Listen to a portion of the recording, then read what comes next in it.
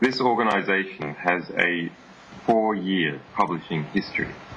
As far as we are aware, and as far as anyone has ever alleged in any credible manner whatsoever, uh, no single individual has ever come to harm uh, as a result of anything that we have ever published.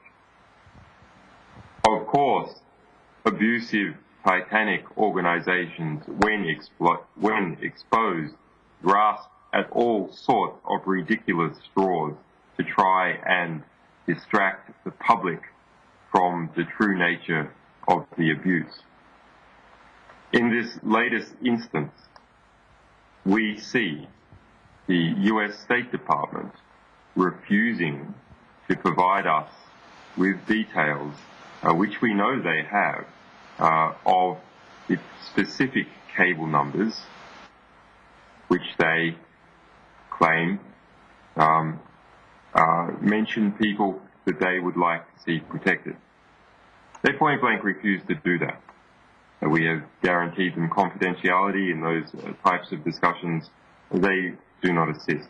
They do not assist uh, the other media uh, in that detailed information. They did not assist our request for the Iraq war log. They did not assist for our material relation to Afghanistan. In fact, they are playing a dangerous game of brinkmanship. And I think this really reveals their true interests and concerns. That although we are a responsible organization and no one has come to harm, let us imagine if we were. Let us imagine if we were, in fact, the caricature that this organization, uh, that the State Department uh, tries to paint us. What then if we, if we simply went ahead uh, without any assistance whatsoever um, uh, for, from the U.S. authority? Well, we try and do a meticulous job, but let imagine, let's imagine that we didn't.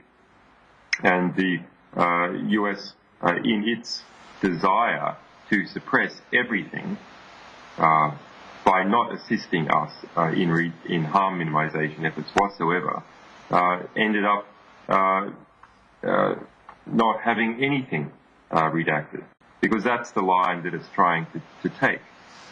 it understands that we are a responsible organization, so it's trying to make us as make it as hard for us as possible uh, to publish responsibly in the hope that we get at all. Because not publishing anything at all would mean not publishing the abuses uh, uh, by that organization. السلام عليكم. حسين من العراق. هل هناك نية لمشاركة الوثائق مع بعض الدول العربية أو على الأخص الدول المعنية بالمو... بال... بالوثائق؟ يعني في وسائل الإعلام العربية هل لكم نية في مشاركتها في هذا الموضوع أو على الأقل في المواضيع الحساسة Yes, indeed. We think it is very important to um, to have the media of the country that is most concerned and knowledgeable about a subject uh, have access to the primary source materials. Um, so uh, uh, we do that commonly. Um, for this latest, uh, this forthcoming release, uh, over time we will um, make alliances with uh, Arab media. Some of those um, are already being negotiated. Good morning. Marwan Malouf from Lebanon. My question is, will your leaks only be linked to the war of the U.S. outside of their lands, which is Iraq, Afghanistan, or will it be also, you'll be starting to leak information that are related to um, internal uh, issues or uh, you know, policy of the U.S. related to aid to uh, the region, or will it be only linked to the war and the, the war on terror? Thank you. We, ha- we have released uh, leaked documents from over 100 countries in the past four years, uh, from um, assassinations uh, in East Timor uh, to the behavior of some of the biggest uh, United States private banks. Um, so we cover everything. If you're asking about what's coming up soon, um, the material that, that, we are about to release covers essentially every major issue in every country in the world, including extraordinary reporting across all Arab states. صباح الخير جميل ياسري من العراق إلى أي مدى يمكن أن تساعد عملية نشر الوثائق والملفات عن الانتهاكات ضد المدنيين العراقيين في الحد من مثل تلك الانتهاكات مستقبلا في أي بقعة من العالم It's hard yet to know. Um, but if but if there is such a thing as a meaningful deterrent, uh, then knowing about it is the first step on that path. Whether that deterrent in the end becomes meaningful uh, is up to what people now do with the information. Uh, but we can see some movements uh, in the United Nations, uh, which has uh, opened an investigation, and in these countries that I spoke about before, amongst the Iraqi people themselves, where there is a project to translate a part of this release, a last release, sorry, into Arabic. And we've seen material um, used uh, from the Iraq war logs uh, in uh, Iraqi local politics and national politics.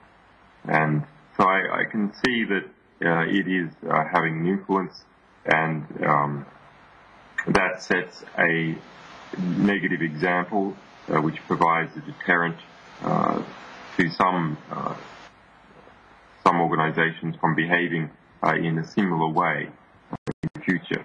Um, I think that the deterrent effect uh, for the United States, because it is so clear, um, uh, is likely to be to be real.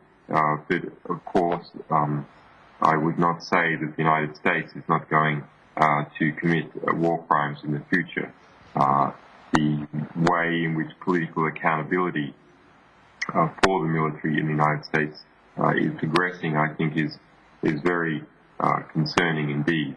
Uh, there appears to be um, a, con- a, slow consolidation of power over the past 10 years between different parts of, of, the U.S. military uh, and intelligence apparatus uh, and the political uh, and financial elite as all these systems become more interconnected uh, with each other, trade more information with each other, uh, have greater uh, share cross holdings, um, and interact more with a, a fairly captured media in the United States. So I think the the, the general trend for accountability of the U.S. military is worrying.